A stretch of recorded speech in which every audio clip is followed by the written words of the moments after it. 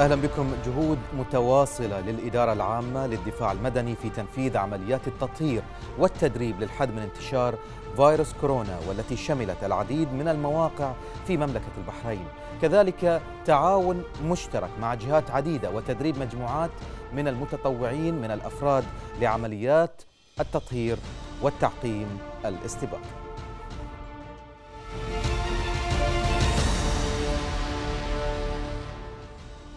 وحول هذا الموضوع يسرنا أن يكون معنا في استوديو البرنامج النقيب دكتور مصعب الخالدي رئيس مجموعة مراكز الدفاع المدني للحديث عن دور أبطال الدفاع المدني في هذه المرحلة ولكن بعد هذا التقرير.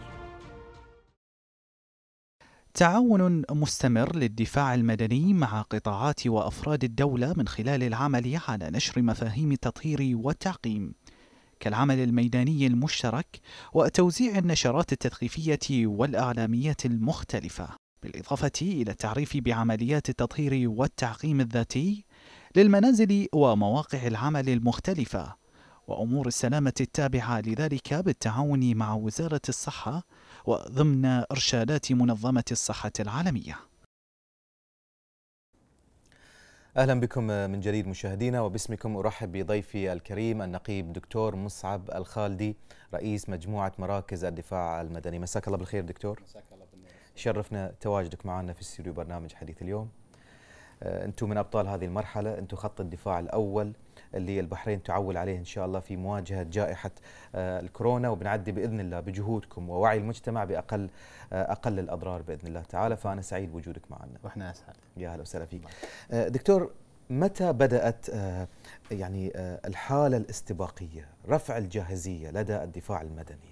هل منذ ظهور أول إصابة في البحرين واكتشافه في 24 فبراير أم كان لكم استعدادات وجاهزية استباقية سبقت ذلك يا ريت تتكلمنا عنها طبعا من الاستعدادات اللي تقوم بها الإدارة العامة للدفاع المدني في كثير من الحالات هي قياس المؤشرات التي ممكن أن تنتقل لمملكة البحرين وما هي السبل الواجب اتباعها في مثل هذه الظروف. نعم. قامت الإدارة العامة للدفاع المدني بشكل خاص وكذلك المنظومة الأمنية في مملكة البحرين بإعداد خطة في حال وصول هذه الجائحه لمملكة البحرين فما هي الإجراءات الواجب اتخاذها وفق الأطر والإجراءات التي تضمن سلامة المجتمع مملكة البحرين. نعم. قامت الإدارة العامة للدفاع المدني بإعداد خطة استباقية لأفضل الممارسات اللي ممكن ان تقوم بها الإدارات المعنية لضمان سلامة المجتمع في مملكة البحرين. قمنا بدراسة الوضع الحالي، تجهيز الطواقم الدفاع المدني لتكون على أهبة الاستعداد في حالة ما استدعت الحاجة لذلك. التأكيد على جاهزية الأسطول الفني والآليات للإدارة العامة للدفاع المدني كانت محل اهتمام وتوجيه من سيدي معالي وزير الداخلية وكذلك سيدي سعادة رئيس الأمن العام. نعم. كنا جاهزين لهذه الأمور قبل لا تحدث في مملكة البحرين. تم الانتقال بعدها لآلية التنفيذ الأولوية في تطبيق هذه الإجراءات. والتعاون مع الحملة الوطنية لمواجهة انتشار فيروس كورونا في مملكة البحرين.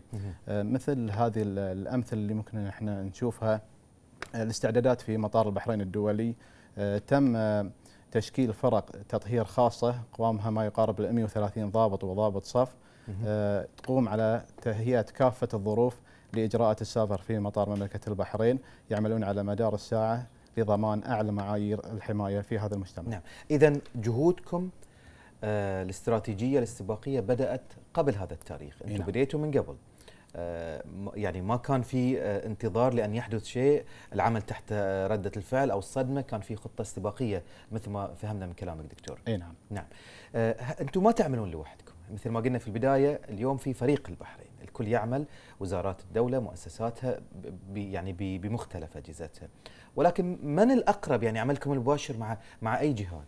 طبعا في مثل هذه الحالات الإدارة العامة للدفاع المدني تكون فرق مشتركة للعمل مع كثير من الإدارات المعنية والجهات في مملكة البحرين من ضمنها وزارة الصحة المجلس الأعلى للبيئة. كذلك الإدارات المعنية في التعاون مثل وزارة العمل وكذلك هيئة تنظيم سوق العمل. بالإضافة لكثير من الجهات المعنية في هذا الشأن. نود أن نشير أن إحنا عملنا مقرون بطبيعة العمل الجماعي ففي حال وجود أي تنسيق مشترك فالإدارة العامة للدفاع المدني راح تلعب دور محوري في التنسيق الاستباقي مع كافة تلك الجهات لضمان أعلى معايير التطبيق الأمثل لتنفيذ هذه الإجراءات. نعم. دكتور تفضلت قبل قليل وذكرت بأن فقط في مطار البحرين في حوالي 130 ضابط وضابط صف. آه كلمنا عن أدواركم وين هي الأماكن اللي تعملون فيها بشكل عام وشنو هي الأدوار؟ يعني آه، يمكن الناس تعتقد ان هي فقط عمليات تطهير الموضوع أكبر من كذي بكثير والأعداد أكبر من 130 المتواجدين بالمطار بكثير. يا ريت نتكلم عن مختلف هذه الجهود. طبعا لما نتكلم على مستوى تأمين الحركة آه، الملاحة الجوية في مطار البحرين الدولي آه، دور الإدارة العامة للدفاع المدني يعتبر كصمام أمان لآلية العمل وفق الضوابط والشروط في مثل هذه الظروف. من خلال استقبال المسافرين تطهير وحماية كافة آه، منشآت أو المرافق السفر المعنية في هذا المجال. كذلك كافة العاملين اللي موجودين في هذا النطاق والحيز اللي راح يكون في مطار مملكة البحرين من مسؤوليات الإدارة العامة للدفاع المدني وخصصت له الفرق المختصة في هذا الشأن. طبعا نتكلم على كافة هذه الإجراءات من مرحلة استقبال المسافرين كذلك الأمتعة عملية الانتقال إلى عملية مغادرتهم آه، من المطار. أود أن أشير بعد في هذا الجانب أن تأهيل طواقم الإدارة العامة للدفاع المدني آه، كافة تعتبر يعني على أعلى مستويات الاحترافية للتعامل مع هذه الأمور.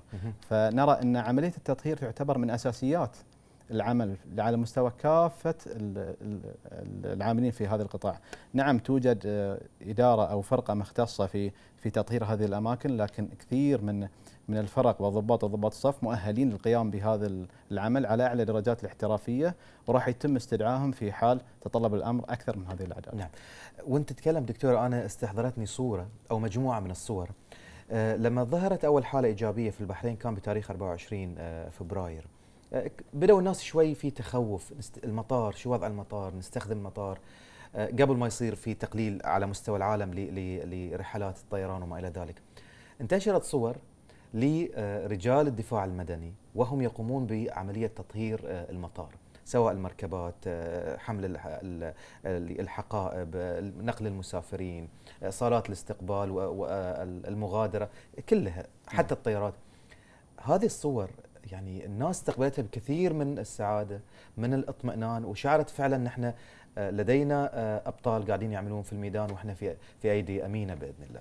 تكلمنا عن هذه الفترة اللي بدأت بعد على طول اكتشاف الحالة.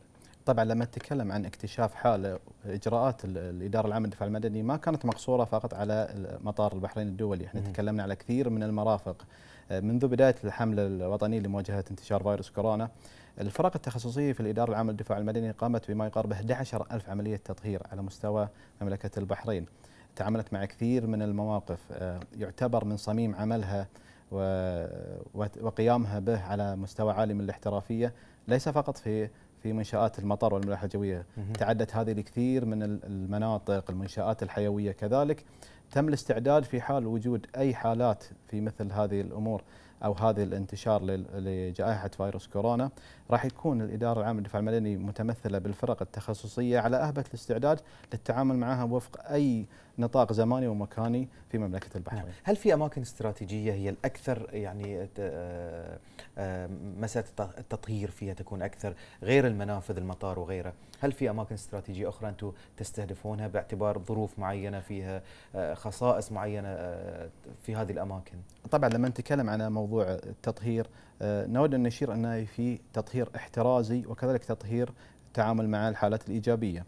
التطهير مع الحالات الإيجابية هذه من ضمن اختصاصات الفرق التطهير التابعة للإدارة العامة للدفاع المدني. آه، كذلك الإدارة العامة للدفاع المدني تقوم بكثير من العمليات الاحترازية في مسألة التطهير بالتعاون مع الجهات التنسيقية آه، وكذلك المعنيين. لما نتكلم في مثل هذه الأمور المناطق المكتظة بالسكان آه، بعض مناطق العمالة الوافدة بعض المنشآت اللي فيها تجمعات بشرية كبيرة تستوجب لها يعني آلية تطهير معينة ودقيقة فنحرص أن إحنا نقوم فيها بهذا العمل. ولا نترك أي مجال لاحتمالية انتقاله بسبب عدم القيام فيه باحترافية. أما لما لو تم اكتشاف مثلا حالة إيجابية في منطقة ما في بيت ما في فندق في شيء لكم دور في ذي الجانب. عملية تطهير وأيضا حتى آه، مسألة نقل المصابين وتطهير المراك المركبات وما إلى ذلك. دكتور؟ طبعا مثل ما تفضلت عملية التطهير والتنسيق لنقل المصابين إلى المناطق المخصصة لهذه تكون بالتنسيق مع الإدارة العامة للدفاع المدني. التطهير لابد أنه يكون وفق آلية آه، احترازية ودقيقة للتعامل مع هذا المرفق الهام. كذلك نشير أن التعامل مع فيروس كورونا يتطلب كثير من الإجراءات الوقائية بأعلى درجات الاحتراف وكذلك المعايير اللي لابد تطبيقها دوليا وليس فقط على مملكة البحرين. إحنا حريصين إن إحنا نقوم بها على أكمل وجه، فهذا الشيء يخلينا إن إحنا لابد إن نكون موجودين فيها على اهبه الاستعداد وكذلك الإشراف عليها المباشر لضمان أعلى معايير التطبيق السليم. نعم، أدواركم مختلفة لكن خليني أوقف عند دور مهم الآن آه ويتعلق ب مسألة التوعية اللي تقومون فيها. نعم. خاصة في التعامل مع تجمعات يوجد فيها العمالة مثلا الأجنبية وإحنا نقول ونؤكد بأن هذا الفيروس لا ينتمي لدين لطائفة ل يعني جماعة أو أو عنصر معين لا نتحدث في هذا الجانب ولكن نتكلم عن الاعمال الوافدة بطبيعة تجمعاتهم. مستوى يعني ربما الوعي قد يكون مختلف السلوكيات الوضع اللي يعيشون فيه السكن اللي يعيشون فيه قد يكون مختلف نسبيا. وكان في تخوف من الناس إن هذه الأماكن قد تحدث فيها ولله الحمد لا يوجد إلى الآن انتشار بينهم. حدثت بعض الأشياء والكل عارف في مثلا مكان معين عمارة معينة تم السيطرة على الموضوع ولله الحمد. لا يوجد تفشي إلى الآن ولله الحمد. لكن كان في حديث من الناس وشفنا يمكن في وسائل التواصل تجمعاتهم. أنتم كان لكم دور مباشر في التعامل معهم دكتور. كيف تتعاملون معهم مسألة الوقاية مسألة التأكيد من اتباعهم للخطوات الاحترازية كل هذه الأمور.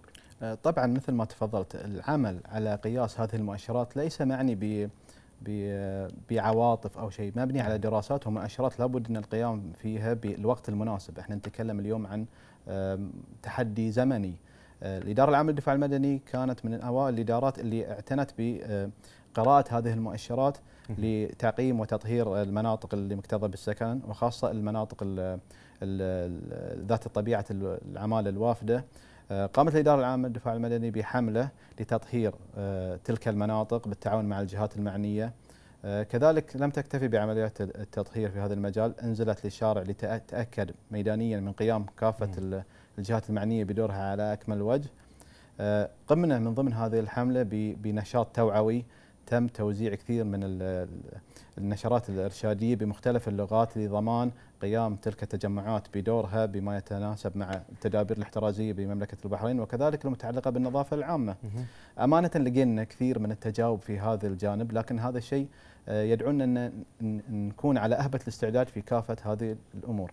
مثل ما تفضلت عمل الإدارة العامة للدفاع المدني استباقي في كثير من هذه الحالات إحنا اليوم نقوم بهذا الواجب نسعى إن نغطي أكبر عدد ممكن من هذه التجمعات وحريصين على تطبيق الجميع لكافة تلك التدابير والإجراءات الاحترازية. نعم وأيضا كل إدارات وزارة الداخلية نأكد على دورهم في هذا الشيء، شفناهم في الميدان من شرطة مجتمع من عناصر الداخلية الضباط كان معاهم أحيانا ممثلين من السفارات بلغات مختلفة يتواصلون مع العمالة. في جهد كبير ولله الحمد وإن شاء الله يعني يأتي هذا الجهد بثمارة بإذن الله. بإذن الله إن شاء, إن شاء الله. الله بإذن الله.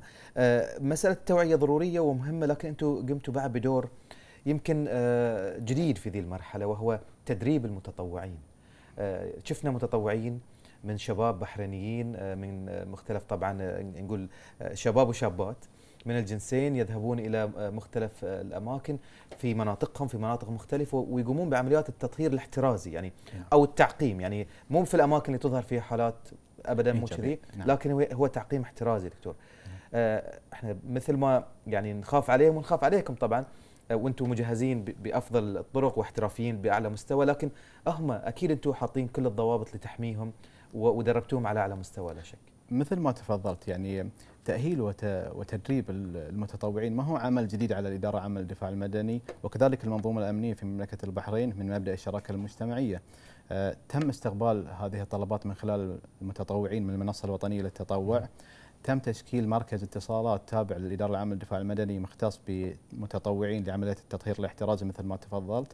أه تم فرزهم بناء على النطاق الجغرافي لسكنهم كذلك الأوقات اللي متوافرين فيها يقومون فيها بعمليات التطوع وكذلك نوعية الأعمال اللي حابين هم يشاركون فيها. الإدارة العامة للدفاع المدني سعت أنها تفعل كافة مراكزها في مختلف المحافظات لاستقبال المتطوعين وتدريبهم مع الأخذ بالاعتبار للتدابير الاحترازية والتجمعات في هذا المجال. طبعا يبتدي مشوار المتطوع من بداية دخوله لمركز الدفاع المدني يقومون بعمليه الفحص المبدئي له بتعبئة الاستمارة المخصصة لهذا الشيء. يقومون بعملية التدريب النظري والعملي تأكد من الأمور الوقائية الشخصية لضمان سلامته مثل ما تفضلت. حتى لو إنه كان راح يشاركنا في عمليات التطهير الاحترازية الا إحنا إحنا حريصين إنه يقوم بدوره بدون أي آثار أو أعراض إنها تؤثر على عمله أو على مستواه الشخصي. آه نتكلم حتى الإشراف على العمل الميداني مع تلك الطواقم. تم توزيع شارات المتطوع آه نسقنا مع المديريات الأمنية والجهات المعنية إن بهذه ال ال العمل. آه فخورين إن إحنا اليوم نقوم بتدريبهم آه بأكمل وجه. آه وصل تقريبا عدد المتطوعين ما يقارب ال 1800 متطوع. على مختلف محافظات مملكة البحرين والعمل جاري طبعا على رفع من الطاقة ضمن 30 الاستيعابية. ألف متطوع وأكثر في المنصة الوطنية للشاركة نعم مثل نعم. ما تفضلت العمل جاري على إعداد وتأهيل أكبر عدد ممكن ليكونوا مستعدين لخدمة وطنهم إذا استعدت الحاجة. بإذن الله. آه، في بعض الدول دكتور آه، شاهدنا أن آه، الفيروس انتقل والإصابات انتقلت للصفوف الأولى. أطباء ممرضين ويمكن حتى العاملين في الدفاع المدني وغيره. إحنا ولله الحمد البحرين ما شهدنا هذه الحالة. والأمس كان عندنا ضيوف من من آه، يعني الكادر الصحي والطبي ويتحدثون إن آه، لديهم أعلى التجهيزات وأفضل تدريب. آه، في الدفاع المدني إحنا متأكدين أيضا أفضل تدريب أو أعلى الت- التجهيزات. وأنتم تقومون تفضلت ب آلاف عمليات التطهير. يعني شلون تكون العمليات الاحترازية اللي تحمي صفنا الأول أو أحد أهم صفوفنا الأولى؟ طبعا في البداية نود أن نشير أن الإدارة العامة للدفاع المدني يعني تحظى باهتمام منقطع النظير يعني في هذا المجال. آه، نتمتع بكوادر بشرية متخصصة لكثير من من الجوانب اللي اليوم ممكن نشوفها في في الحال في الوضع الحالي نتعامل معها. وكذلك بعض المؤشرات المستقبلية. الأسطول نعم. الفني للمعدات لآلات الدفاع المدني يعتبر أسطول متطور مقارنة بدول ال- المنطقة. وكذلك آلية التدريب مثل ما. تفضلت. آه، الاجراءات الاحترازية للصف الأول في الإدارة العامة للدفاع المدني يقوم على أهبة الاستعداد. آه، نتخذ كافة أعلى التدابير وال وال والإجراءات لضمان حماية رجال الدفاع المدني وكذلك رجال المنظومة الأمنية العاملين معنا في هذا المجال لضمان قيامهم بعملهم دون أي احتمالية إصابتهم في هذا الفيروس. وهنا اللهم لك الحمد. اليوم قادرين أن إحنا نتعامل مع كثير من الحالات.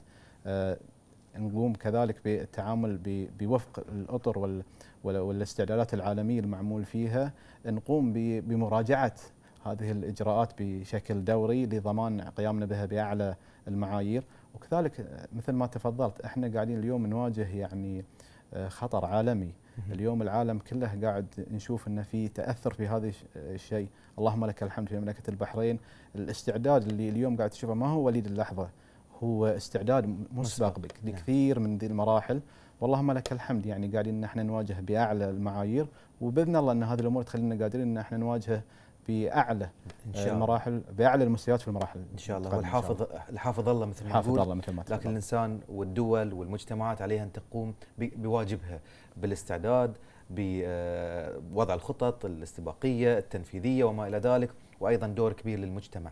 ويمكن التطوع والانضباط المجتمعي والوعي المجتمعي من سمات المجتمعات الراقية ولله الحمد شفنا مجتمعنا آه، يعني آه، آه، عكس هذه الجانبين بأبهى صورة دكتور طبعا مثل ما تفضلت يعني اليوم اللي قاعد نشوفها من حالة المبادرة في التطوع في مملكة البحرين هي سمة من سمات المجتمعات الراقية اللي قاعد نشوفها ميدانيا في مملكة البحرين.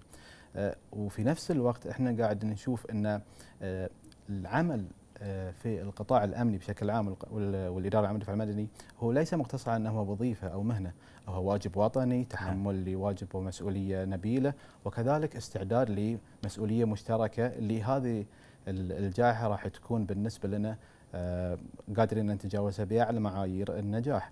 اليوم قاعد نشوف عمل جماعي منظم، آه، قاعد نشوف آه، تذيل كافة الصعوبات للقيام بأعمالنا على أكمل وجه.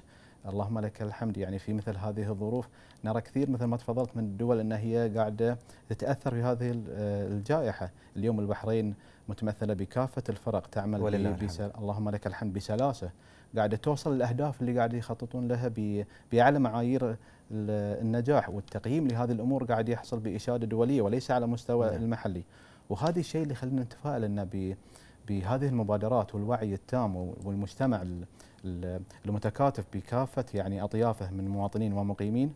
آه، يخلينا بإذن الله نتفائل ان إحنا نكون من أوائل الدول اللي راح تتجاوز هذه المرحلة. بأعلى مراحل النجاح. بإذن الله بإذن الله. وإحنا حبينا نشكركم نشكر جهودكم. أنتم أبطال هذه المرحلة من أبطال كثيرين. يعني آه ويمكن آه سمو ولي العهد سمو النائب الأول الله يحفظه ذكر بأنه آه يعني هناك الكثير من الأبطال مو واضحين في الصورة. هناك آه، المئات بل الآلاف يعملون في صمت يعملون حبا في البحرين بهمة عالية بروح عالية آه، من أجل حفظ هذا الوطن وحماية المواطنين آه، والقيادة وهذه الأرض الطيبة بإذن الله. إن شاء الله في ميزان حسناتهم وإن شاء الله أيضا آه، يعني جهودهم مقدرة من الجميع. كلنا نعتبركم ابطالنا أبطال هذه المرحلة. أنا تشرفت وسعدت بلقائك دكتور. شكرا جزيلا. شكرا لكم على الاستضافة. شكرا لك. كان معنا الدكتور مصعب الخالدي رئيس مجموعة مراكز الدفاع المدني. جنودنا في الصفوف الأولى نوجه لهم كل التحية من خلال ضيفنا الكريم. شاكرين لكم المتابعة. الله يحفظكم. نلتقي في حلقات قادمة في أمان الله.